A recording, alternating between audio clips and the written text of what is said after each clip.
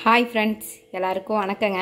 இன்றைக்கி என்ன சமைக்க போகிறோன்னு பார்த்தீங்கன்னா டேஸ்ட்டான பீட்ரூட் பொரியல் தாங்க செய்ய போகிறோம் அது உடம்புக்கு ரொம்ப ஹெல்த்தியான பொரியல் தாங்க செய்ய போகிறோம் ரொம்ப சூப்பராக டேஸ்ட்டாக எப்படி செய்யுதுன்ற வீடியோ பார்க்கலாங்க. வீடியோக்குள்ளே போகிறக்கும் நம்ம சேனல் சப்ஸ்கிரைப் பண்ணாமீங்கன்னா மறக்காமல் சப்ஸ்கிரைப் பண்ணிக்கோங்க. பக்கத்தில் பெல் பட்டனை கிளிக் பண்ணிக்கோங்க. இப்போ வாங்க நம்ம வீடியோக்குள்ளே போகலாங்க இப்போங்க பீட்ரூட் பொரியல் எப்படி செய்யுதுன்னு இப்போ பார்த்துடலாங்க அதுக்கு நான் கால் கிலோ பீட்ரூட் எடுத்து இந்த மாதிரி பொடியாக கட் பண்ணி எடுத்துருக்கேங்க. இன்றைக்கி பார்த்தீங்கன்னா கட் பண்ணி தாங்க பீட்ரூட் பொரியல் செய்ய போகிறோம் துருவி செஞ்சால் அந்த டேஸ்ட் வேறு மாதிரி இருக்குங்க.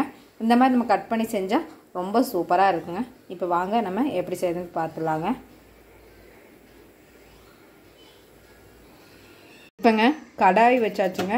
இப்போ நான் தேவையான அளவு ஆயில் விட்டுக்கலாங்க. இப்போங்க ஆயில் சூடாயிடுச்சுங்க. ஒரு ஸ்பூன் கடுகு உளுந்த பருப்பு சேர்த்துக்கலாங்க. அரை ஸ்பூன் ஜீரகம் சேர்த்துக்கலாங்க. கொஞ்சமாக கருவேப்பிலை வெங்காயம் கட் பண்ணி வச்சுருங்க சேர்த்துடலாங்க. இப்போ நம்ம வதக்கி விட்டுடலாங்க. இப்போங்க வெங்காயம் நல்லா வதங்கிடுச்சுங்க. அடுத்து பீட்ரூட்டை சேர்த்துடலாங்க.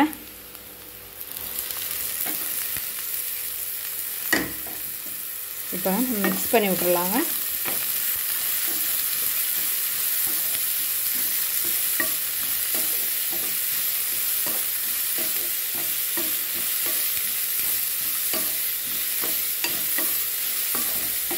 இந்த மாதிரி நல்லா மிக்ஸ் பண்ணி விட்டுடலாங்க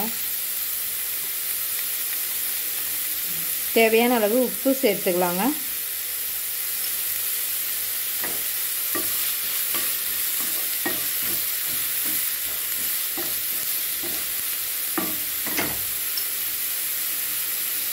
அரை டீஸ்பூன் வரமிளகாய் தூள் சேர்த்துக்கலாங்க. காரத்துக்கு தேவையான அளவு சேர்த்துக்கலாங்க.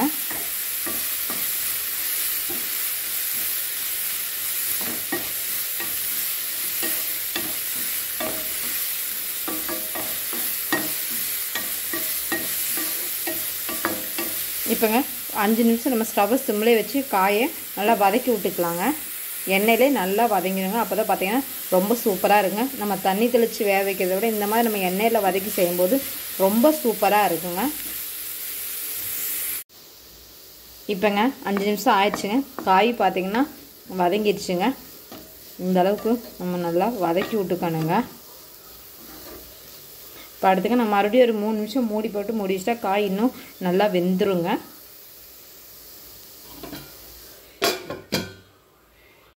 இப்போங்க மூணு நிமிஷம் ஆயிடுச்சுங்க. நம்ம இப்போ மூடி எடுத்து ஓப்பன் பண்ணி பார்த்துடலாங்க. பார்த்தீங்கன்னா காய் நல்லா வதங்கிடுச்சு பாருங்கள் உங்களுக்கே பார்த்தா தெரியுங்க.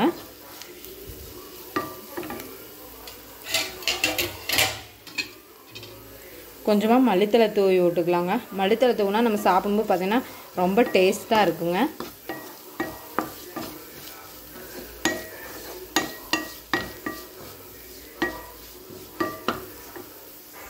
இப்போங்க நம்ம தேங்காய் பூ சேர்த்துக்கலாங்க. நான் கால் மூடி தேங்காய் பூ துருகி வச்சுருக்கேங்க. இப்போ சேர்த்துடலாங்க. இப்போ மிக்ஸ் பண்ணி விட்டுக்கலாங்க.